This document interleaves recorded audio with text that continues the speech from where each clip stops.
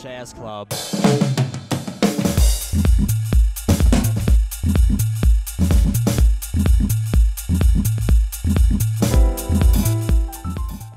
现在海神，如果你在新竹宵夜想要吃日式的话，很推荐大家可以来吃这家哦，因为这家 CP 值很高，很平价又很新鲜。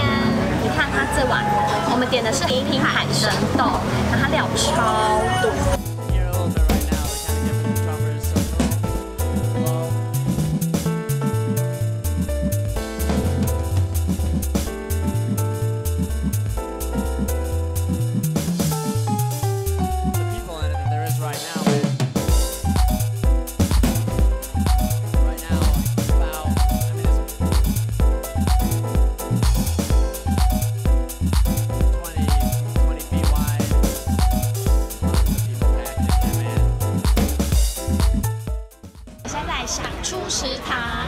小厨食堂它算是一间就是台式创新的宵夜。我点的是这个是鹅啊米爽，鹅啊超饱大颗。我点的是咸酥鸡面线，那我们就来试试看吧。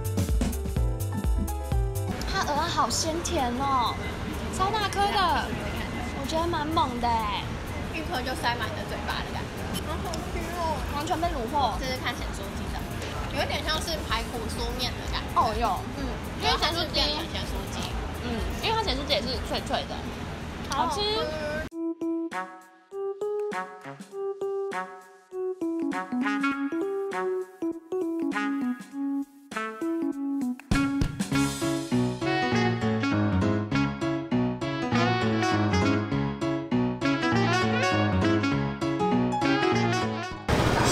在新竹，如果想吃泰式的话，就来曼谷市场。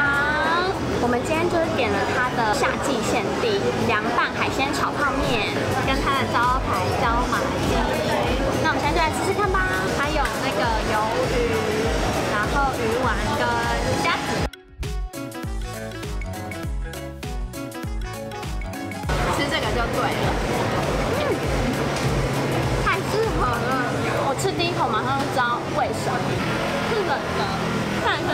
是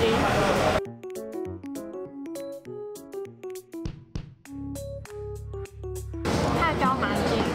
外皮很脆，然后里面鸡肉超级嫩，嗯，而且它那个泰式酸